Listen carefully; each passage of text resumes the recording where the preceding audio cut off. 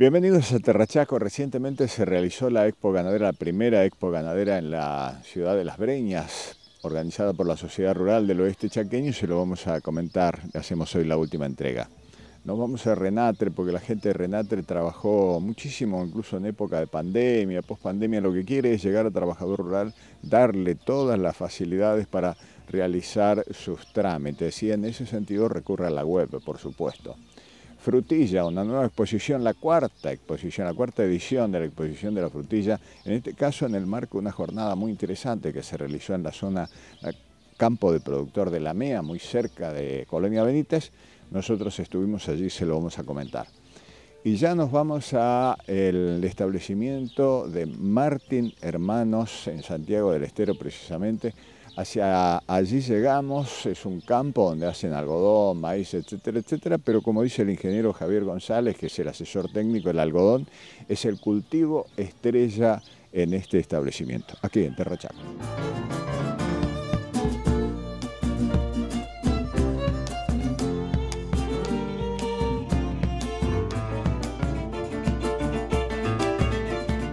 Básicamente el campo tiene hoy 11.500 hectáreas en producción, Emilio de lo cual el, cultivo principal es el, cultivo del algodón, el cultivo estrella del campo. Después tenemos, se produce soja y maíz en, las rotaciones correspondientes y se hace 500 hectáreas de sorgo por un tema de picado para el tema ganadero.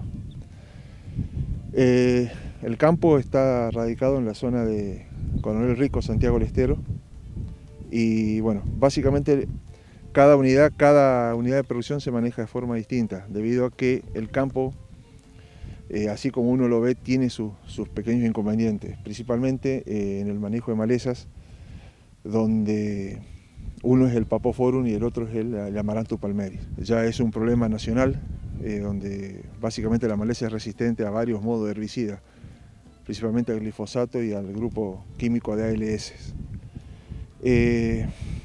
tanto para soja como para maíz, hoy disponemos en el mercado de varios herbicidas para, manejo, principalmente a base de PPO.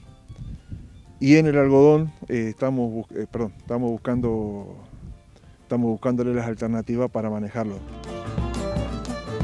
Sumitagro es una empresa japonesa dedicada exclusivamente a la investigación, producción y comercialización de fitosanitarios en el norte argentino cuenta con productos de protección de cultivos como algodón, soja y maíz.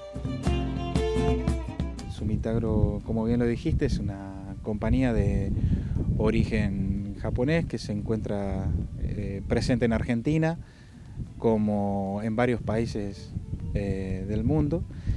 En Argentina ya hace varios años que sigue apostando y creciendo tanto en su paleta de productos como en, los diversos cultivos que en nuestro, en nuestro país se producen. Este, puntualmente en nuestra región que a nosotros nos compete, que es la región NEA, zona de Chaco y Santiago del Estero, que es la zona que me toca eh, representar a la empresa. Eh, principalmente sobre los cultivos de algodón, soja y maíz. Este, con una variabilidad en lo que es la protección de cultivos en, insecticidas, herbicidas y fungicidas.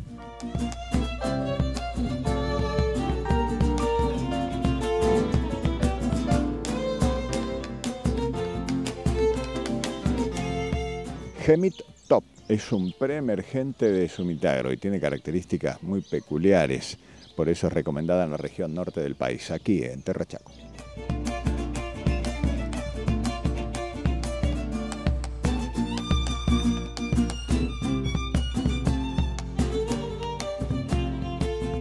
Top dentro del rubro de los preemergentes eh, herbicidas eh, para lo que son cultivos de soja y maíz, este, con lo cual esto le estamos dando al productor una herramienta más para mejor control eh, en lo que respecta a las diferentes malezas que se presentan año a año dentro del grupo de los diferentes amarantos y lo que es la problemática de borreria, con lo cual esta formulación con su micronizado nos está dando mayor número de partículas por unidad de superficie.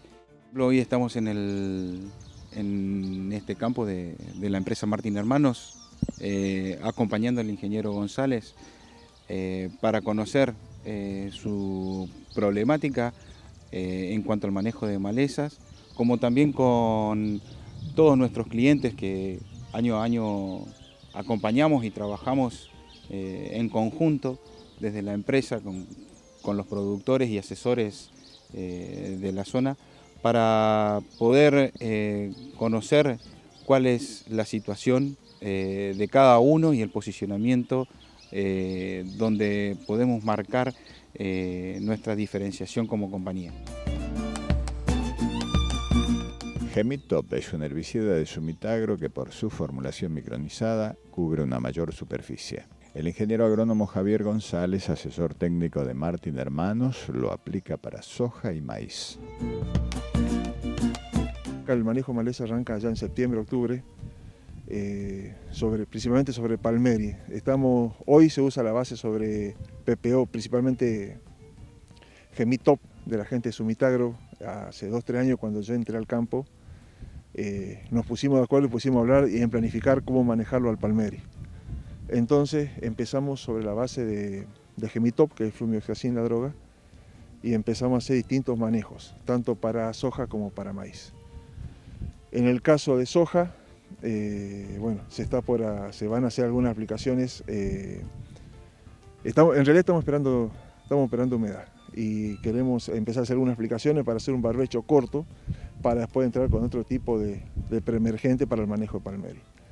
Hay un detalle en el, en el en el Gemit Top de Sumitagro, que es un producto versátil, o sea, está posicionado no solo para soja, maíz, sino para girasol y sorgo. Entonces, eh, se, hace, se hizo girasol hace dos años atrás, cuando las condiciones de humedad eran pertinentes, y se lo usó como, como pre-siembra, no como pre-emergente, como pre-siembra, y no hemos tenido ningún tipo de problema, Emilio. Debido a su versatilidad, lo estamos, estamos empezando a usar bastante en el campo, y la verdad que es una gran herramienta para el manejo colorado.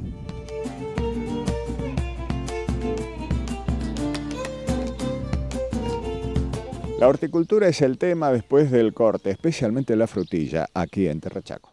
Allá en el yerbal, ponderando el filo de tu machete lindo de más, la esperanza verde que la tijera pone a tus pies.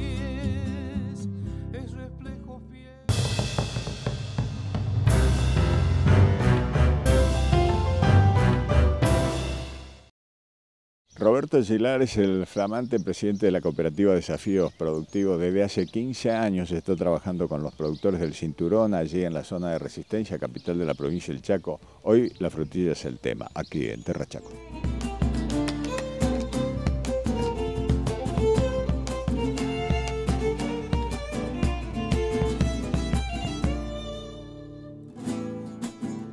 En el marco de la cuarta Expo Frutihortícola del Chaco, mostrando el manejo y, parte de la comercialización del, cultivo de frutilla, que lo venimos haciendo ya desde un tiempo bastante largo, casi 15 años, parece que no. ¿eh?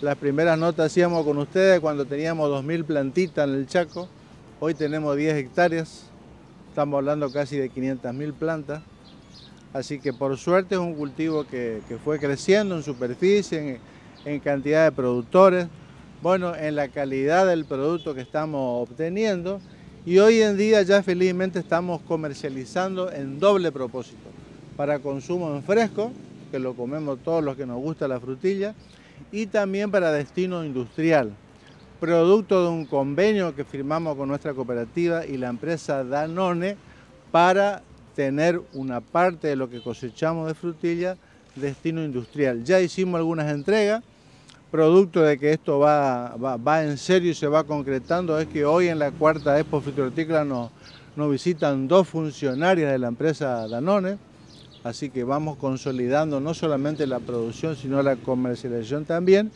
Queremos mostrar el cultivo, queremos contagiar a nueva gente, estamos creciendo y queremos seguir creciendo y por eso un poco mostrar el, manejo del cultivo a campo. Eh, tiene como objetivo traer nueva gente que se contagie y que trabaje con nosotros. De la mano de la cooperativa Desafíos Productivos, crece la superficie y cantidad de productores que hacen frutilla en el Chaco.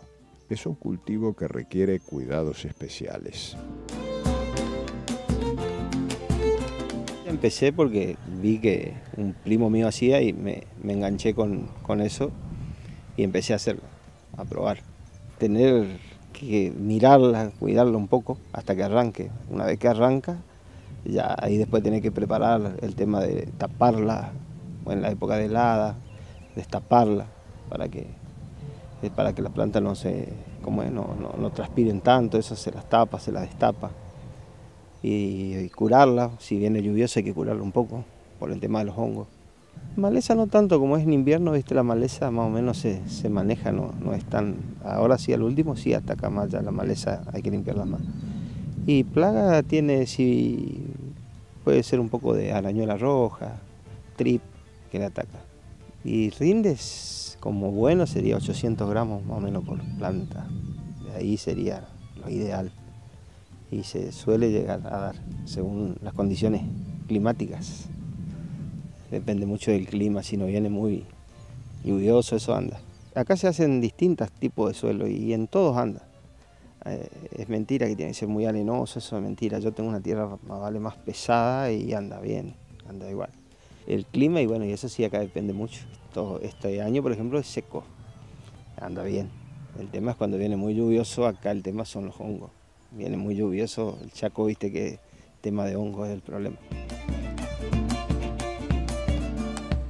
Colonia Benítez es la cuna de la frutilla en la provincia del Chaco y la preparación del suelo es un punto clave para el buen desarrollo de este cultivo aquí en Terra Chaco.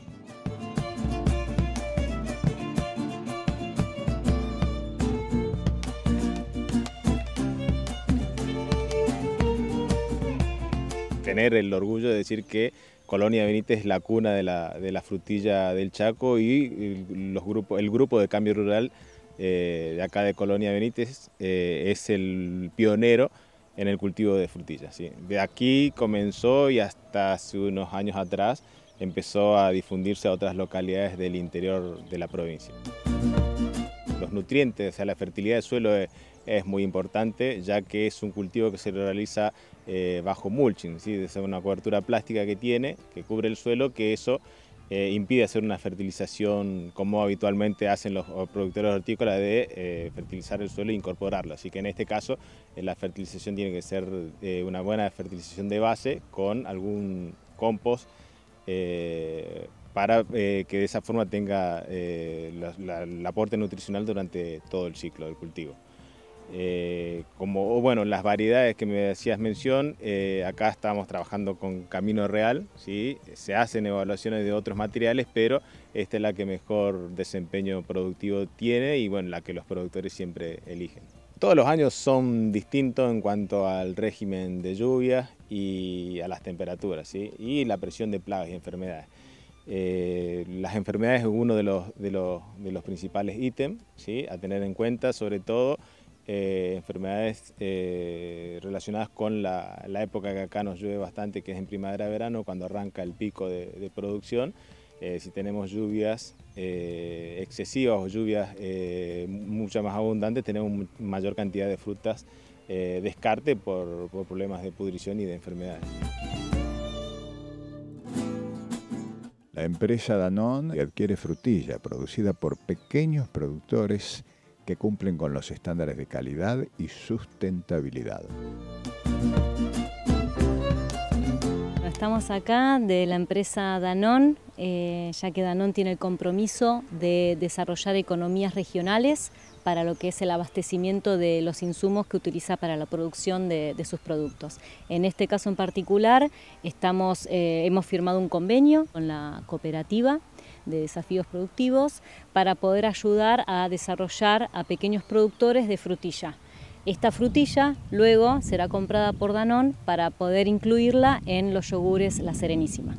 Específicamente hemos definido cuál es la, variedad de frutilla que necesitamos. Obviamente tenemos que cumplir con ciertos estándares de calidad de nuestro producto.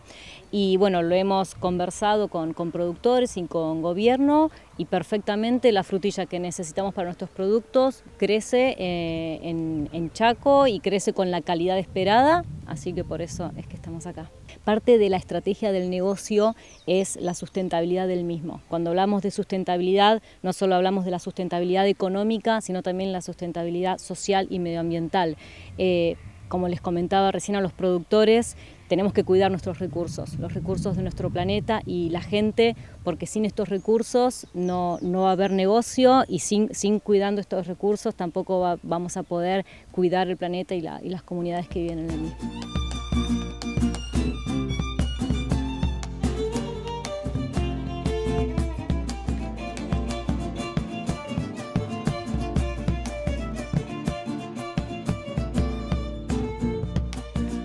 Después del corte, Renatre, su atención a los asociados. Después del corte, la Expo Ganadera de las Breñas, con éxito, por cierto, aquí en Terrachaco.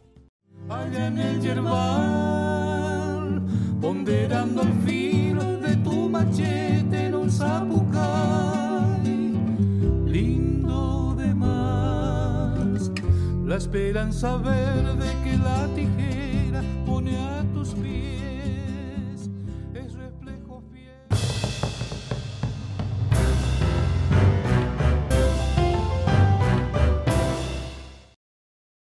¿Cuál es el concepto, dice Ricardo Geijo, facilitar eh, el trámite al trabajador rural? ¿Cuál es el instrumento? La web, por supuesto, internet, aquí en Terrachaco.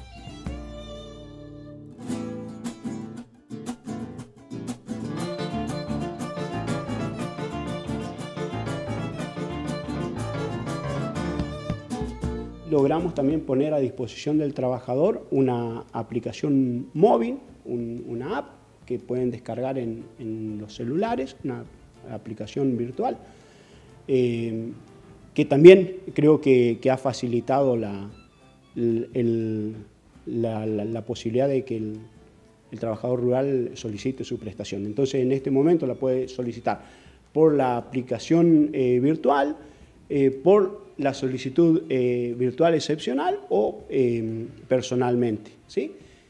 Y lo que otra de las eh, ventajas que, fuimos incorporando es que en este momento la prestación, eh, la, cuota, eh, llega al trabajador a través de una acreditación bancaria, a través de una caja de ahorro.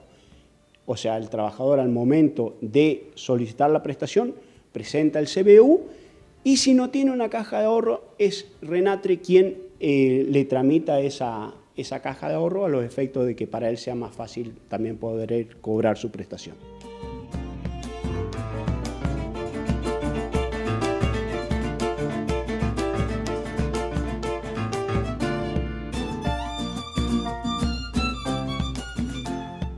Renatre está atento a las prestaciones que faciliten los trámites de sus asociados. Por otro lado, Renatre Central gestionó con éxito ante el Ministerio de Trabajo de la Nación para que los trabajadores rurales puedan prestar servicios sin perder sus planes sociales.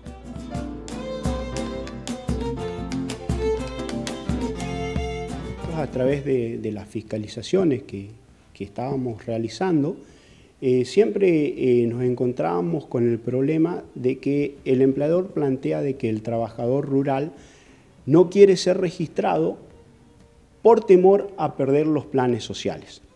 Bueno, eh, Renatre Central ha hecho las gestiones correspondientes, una vieja lucha, y el gobierno nacional eh, se hizo, respondió a este reclamo del Renatre con un decreto, el 514 21 del Ministerio de Trabajo de la Nación, que establece que los trabajadores temporarios y los permanentes discontinuos que se encuentran registrados no perderán el derecho de eh, seguir cobrando los planes sociales contemplados en este decreto.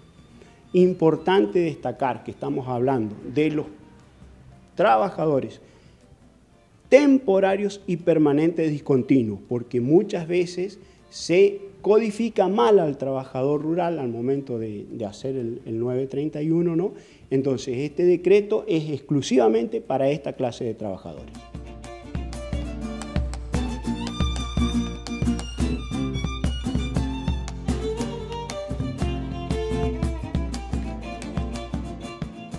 Dejamos Renatre, nos vamos a Las Breñas. No es fácil iniciar nuevos eventos, nuevas ediciones en la provincia del Chaco, en ningún lugar del país. No estamos en las mejores situaciones, sin embargo fue una respuesta fenomenal la que le dieron los productores, los expositores, todo el mundo a esta primera expo ganadera de Las Breñas, de la Sociedad Rural del Oeste Chaqueño, aquí en Terra Chaco.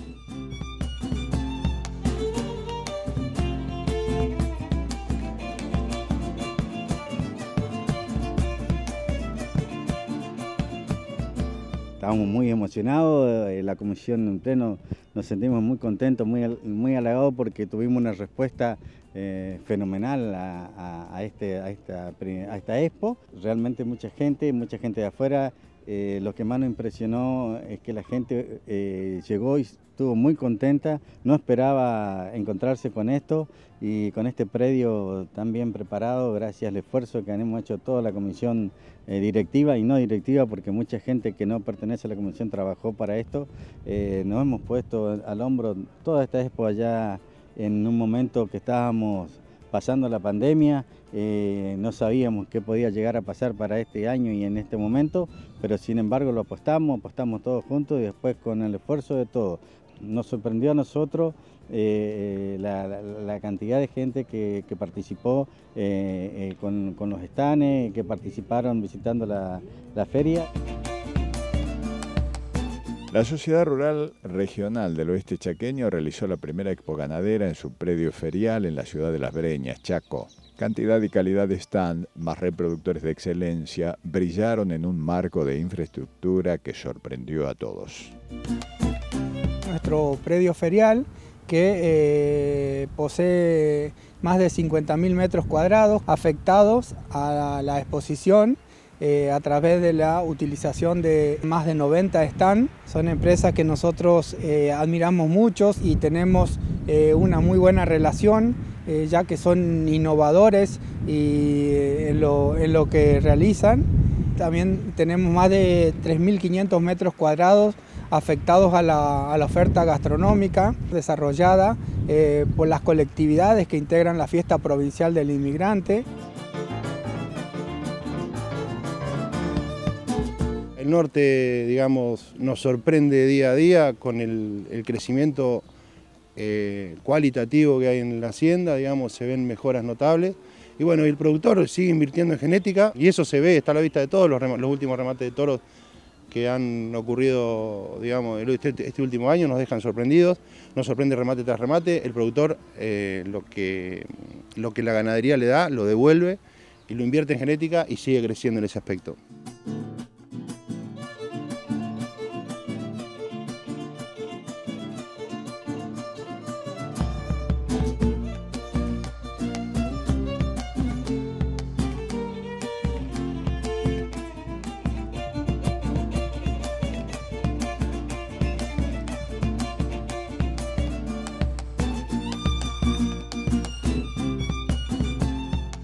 Gracias por acompañarnos, lo mejor para ustedes en esta pantalla muy pronto con más Terrachaco. Mientras tanto, YouTube Terrachaco o elrural.com, nuestros programas y también Terrachaco. Hasta pronto.